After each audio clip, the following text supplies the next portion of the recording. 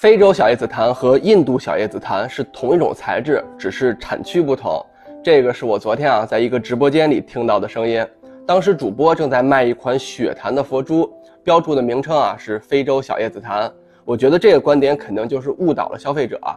咱们来分析一下这个事儿。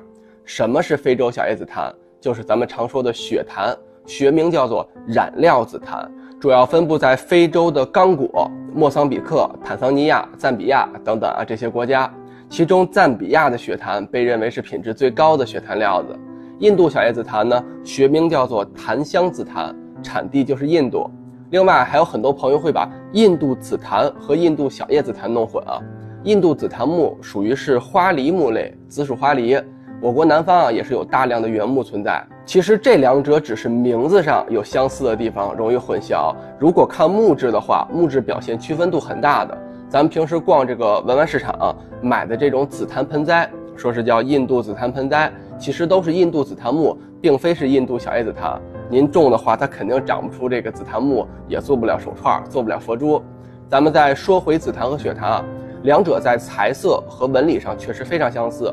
血檀也是迄今为止发现的最像印度小叶紫檀的材质，而且研究发现啊，一部分的血檀料子，它的导管中是有少量的树胶的，也就是说，血檀同样可以出现金星的效果。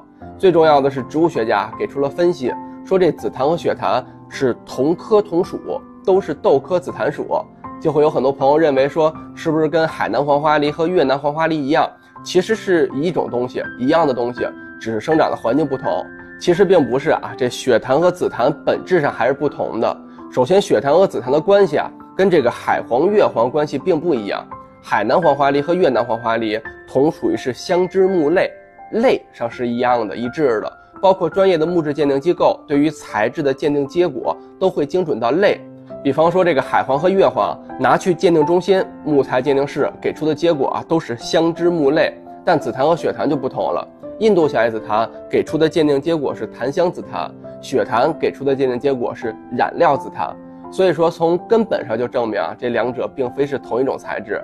而且咱们去分析两者的区别，从木性上看啊，这雪檀材性是偏脆的，而且纤维弹性是比较差的，行业内管这种啊叫做沙性材质。这点跟紫檀还是有非常大的差距的，而且味道上也是有不同的。印度小叶紫檀啊是一种清香气。老料呢会有种巧克力的甜香，就算是新料，它也会有股酸香气，而且燃烧后味道也是很清晰的甜香。但是血檀不同，正常的血檀基本上是闻不到味道的，也有一部分血檀啊会有种柏木的味道，燃烧后啊都会出现这种焦臭的味道，而且两者价格上差距是非常大的。血檀原料的价格，普通一些的一吨差不多一万左右，好一些的料子差不多两三万一吨。印度小叶紫檀原料动辄就要大几十万或者上百万一吨，所以说原料价格差距是非常大的。OK，今儿跟大家聊到这儿，关注我，了解更多文化收藏知识。木易沈香，拜拜。